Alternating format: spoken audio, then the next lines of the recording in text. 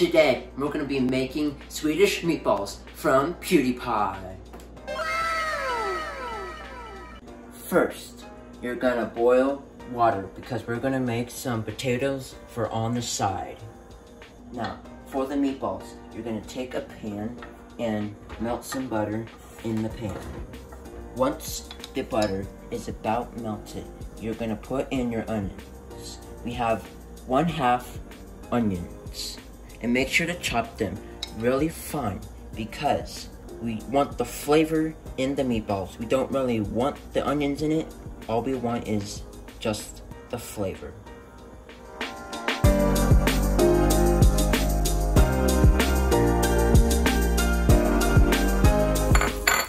What we're trying to do here is just really get a color on the onions. That's all we really want.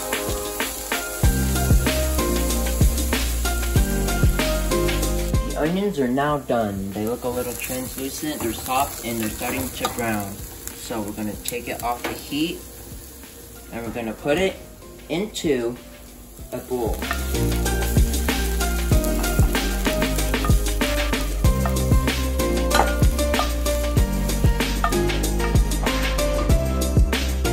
We're gonna put the meat in with the onions.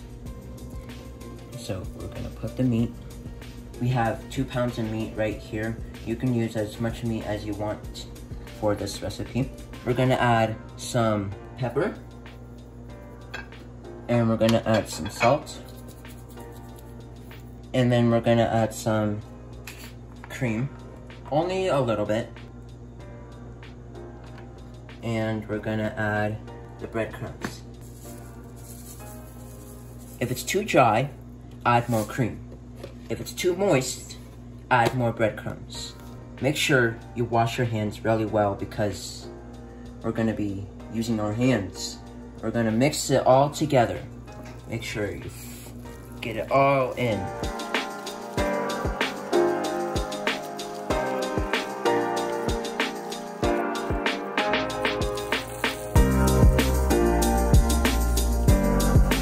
Okay, now it's all mixed together.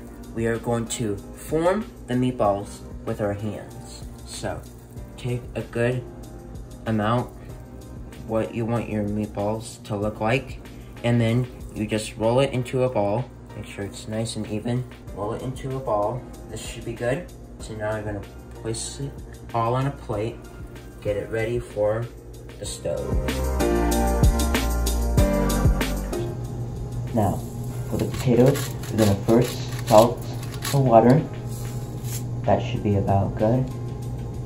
And then, all you're gonna do is literally just take your potatoes and put them in your water.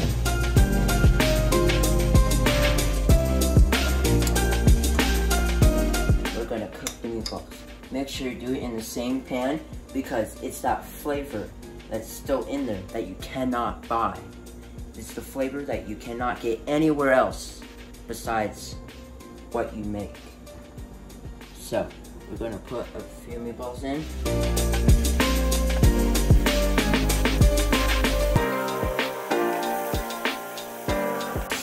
Now the meatballs look done. So we're gonna take them and put them on a clean plate. And be careful, it does splash a lot. Like, be very careful. Like, super dangerous. Super dangerous. Ah, see what I mean? Be careful.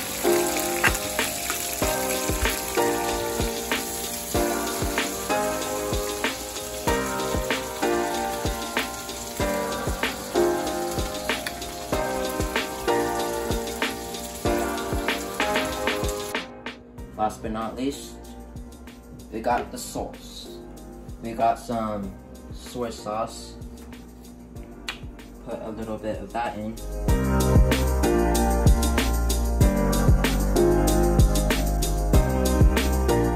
And then we're gonna put in some cream. Whoa, that came out fast. And don't forget to turn on the heat.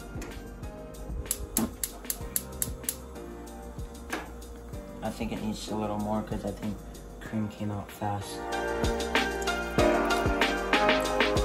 I think that's good. Mix it all together until it comes to a low boil. Now, we have to plate this. So we got some potatoes.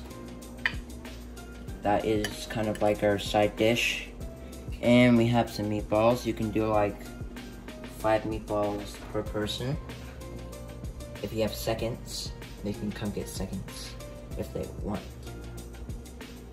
And we have some sauce. I wonder how this is gonna turn out.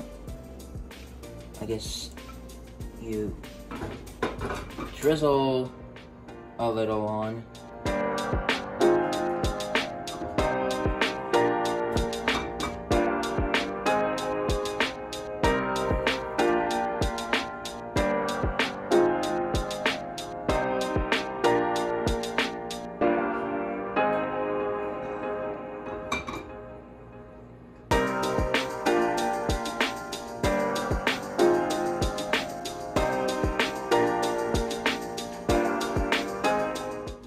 the salt we have, we're just gonna balance it out with a little bit of sweetness from this homemade strawberry jam.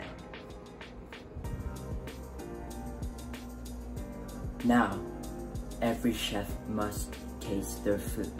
Let's see how this tastes.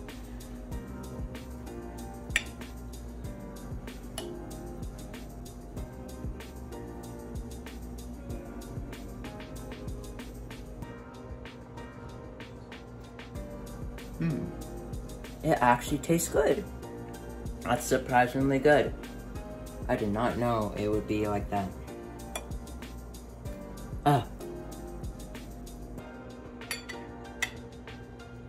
That's kind of nice. It's pretty good. It's hard to get the jam on there, so. Mmm. Yeah, the jam does balance it out. I do notice that. And for the potatoes, let's taste it.